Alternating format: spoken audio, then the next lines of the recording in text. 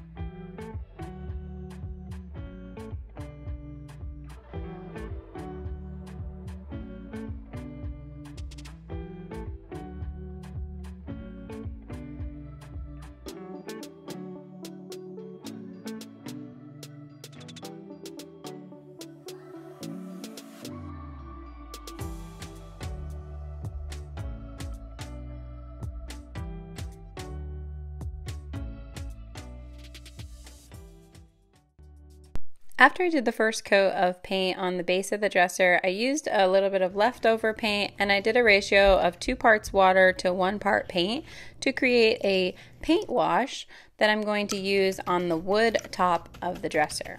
So this is going to look a little light and bright at first, but it'll absorb into the wood and it is just a great way to modernize and bring this whole piece make it more cohesive. I do add some warmth with some brown wax um, t- later on in the video when I wax the entire piece, but to start I'm just doing um, one coat of this whitewash and then with a washcloth or lint-free cloth I just blend it in and rub it around. The cloth is damp with water so that it just blends nice and easy. And then I'm going to wait for that to dry and then I go in with a second coat of the wash, the paint wash. And again, that's just the same exact paint that I was using on the base of the dresser. So you only need one product for these two steps, which is nice.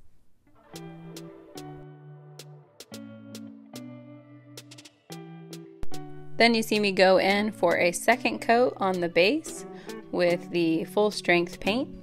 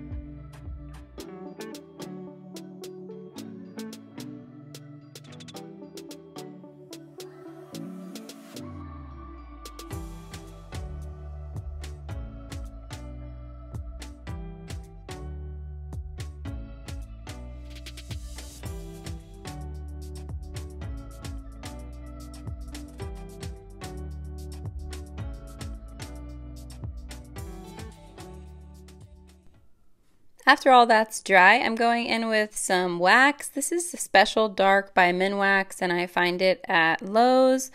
It is um, a great affordable option, but there's lots of um, brown wax options in the furniture painting world. I can list a couple if you're looking for something that's a little bit more natural.